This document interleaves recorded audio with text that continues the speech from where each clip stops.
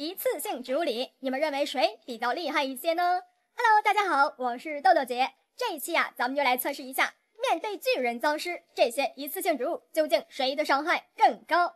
那豆姐呢，一共选出了十六种植物来参赛。那些对巨人僵尸、对玻璃球没有伤害的，咱就直接 pass 过去。植物啊是一百株铁种，谁能把巨人放倒，谁就赢。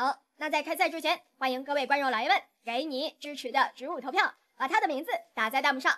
废话不多说，比赛开始。第一位，火爆辣椒。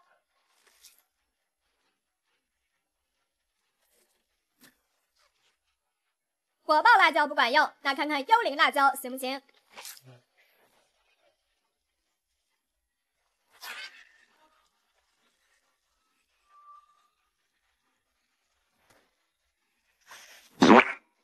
蛋壳家族的爆炸藤。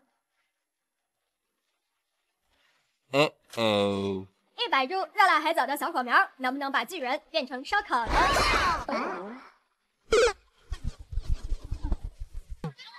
同样是热河家族的岩浆番石榴。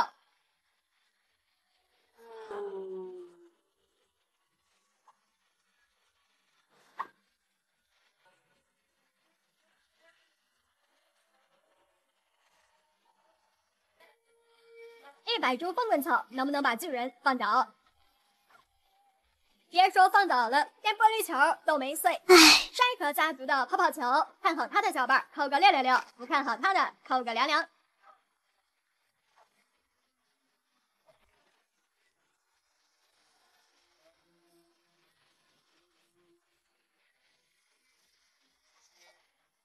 终于有个让巨人脑袋搬家的，可是这还剩个小鬼，咋整？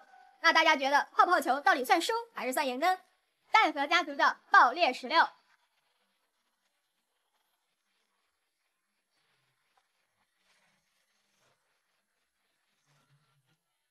一百株爆炸坚果，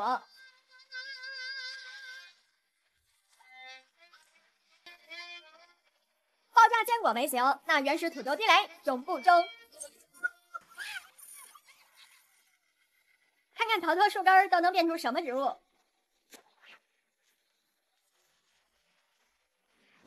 同样是蛋壳家族的爆裂葡萄，你们认为它能不能送巨人坐火箭呢？KO！我的天，葡萄搞定了。那如果刚才一百株桃桃树根全部变葡萄，那岂不是也能成功？再看樱桃炸弹。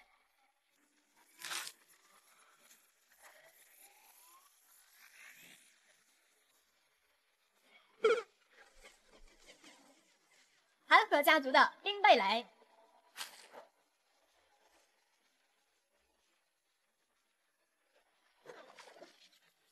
暗影油桃对玻璃球僵尸有没有伤害呢？